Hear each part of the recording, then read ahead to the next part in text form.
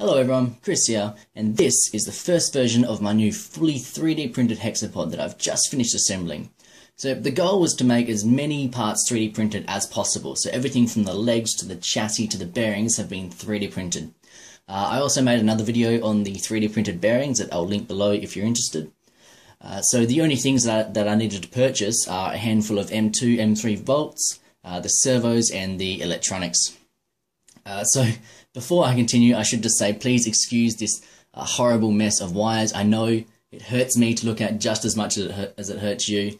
Um, but as I said, I've just finished assembling it and I'm going to need to disassemble it again uh, to install some longer tibias in a day or so. Um, so I haven't gone ahead and cleaned up the wiring to make it look really nice yet. Um, see, these tibias are the same length as the femur. Right, uh, I plan for it to walk with horizontal femurs, so just kind of like walk like this. Um, so I had short tibias initially. Um, yeah, I thought that would be a cool looking looking walking gait.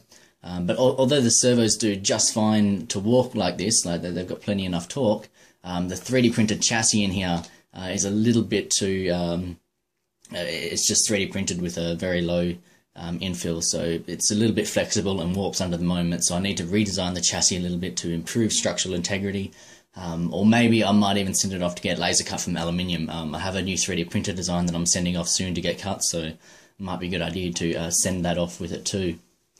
Um, so I'll just have a quick chat about the robot for those interested, um, answer a couple questions and everything. Um, but for those who just want to see it move, I'll put a link below so you can jump straight to that. So a bit about the hardware first. Uh, I'm using 18 of these Hitec HS485 Karbonite gear servos for each of the, each of the degrees of freedom, uh, and they're all controlled from an SSC32 servo controller from Lynxmotion. Um, so under full load, these servos pull about 500 milliamp at 6 volts, uh, but they're never really at full load, um, especially this uh, coxa joint in here.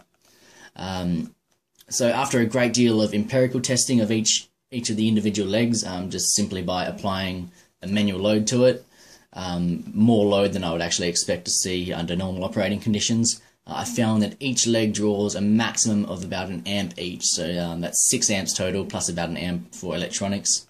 Um, so it's all powered by this uh, 2300 milliamp um, 30C nickel metal hydride battery. Um, so that provides, provides plenty of power and I get a good 15-20 minutes of runtime from it. Uh, I don't have any battery level monitoring on there yet, but that is planned for the future. So all of the legs are reinforced with these idle links on the opposite side to the links connecting the servo horns. Uh, this keeps the, links, the legs nice and rigid in their plane. Uh, so this is especially important because both the servo horns and the legs themselves are made of plastic which can flex under a little bit of load. So each one of these joints consists of a 3D printed slew bearing um, which not only minimizes friction and allows for more accurate and reliable joints, um, but it's also lighter than simply putting a bolt through two pieces of plastic. Um, so as I mentioned before, I'll link the video uh, below that I made of the 3D printing 3D printed bearings. Right, so uh, what software am I using? Uh, so currently for testing purposes, I'm using the Phoenix code written by Kurt Eckhardt and Jeroen Janssen at Lynxmotion. Um, I hope I'm pronouncing those names right, sorry if I'm not. Um, however, I do have my own kinematics and walking gaits that I'm implementing on a Raspberry Pi. So that's going to be the next stage of the project, but just for testing purposes to make sure that all of the hardware is working correctly, I'm using uh, Phoenix Code since uh, it's known to work and um, boy does it work well. Uh, so I had to make a few modifications to the Phoenix Code kinematics and the SSC32 communication drivers uh, just to match my particular setup. But that aside, it was just a matter of adjusting the hex underscore CFG configuration files to specify my leg lengths, my body dimensions, and uh, now it's working really quite nicely. So big shout out to Xan and Kurt E for writing this Phoenix code and making it available. So I do still need to do some calibration to get the legs nice and zeroed since the servo horns use a standard C1 24-2 splines uh, each one is going to have an error up to about 7.5 degrees, so it's not a huge error, but I'm sure that the motion will be a great deal smoother if I go ahead and sort that out. Uh, I'm not sure if I'll bother since I'll, I'll only be sticking with Phoenix Code for not too long, like probably not even the rest of the day. Uh, but I might do it at a later date when I want to compare my software with Phoenix, um, just to see if mine can be improved anywhere. Uh, anyway, enough of that. Uh, time to see it walk. Okay, so here is the first revision of my hexapod robot in action. Uh, no calibration has been done, so it's still a bit wobbly and everything. Um, So running Phoenix code and using a PS2 remote to control it. And we can start him up and walk forward. So this is just the slow gait, so you can uh, see how the gait moves. Side step, side step the other way. Turn around. I can switch on to the faster gait. Basically takes longer steps. Not quite stable, I need to uh, I need to do some calibration so that the steps kind of uh, land where they should go. But looking good for now.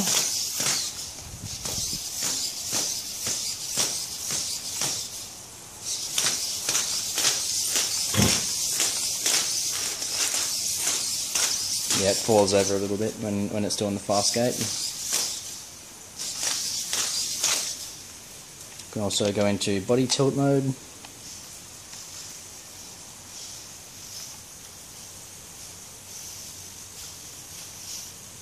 Twist.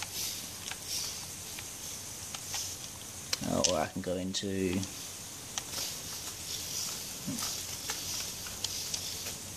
I can lift up and down. If I go like this and then exit out, then I can oh, yeah, go back to walking.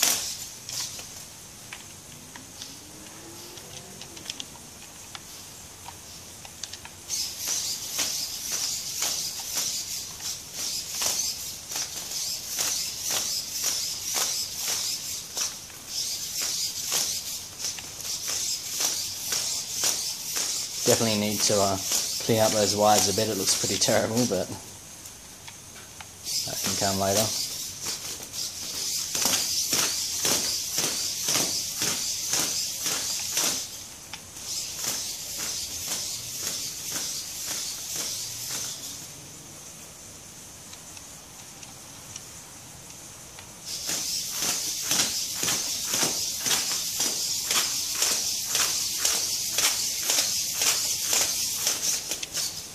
So I get a good uh, 15 20 minutes battery life out of it.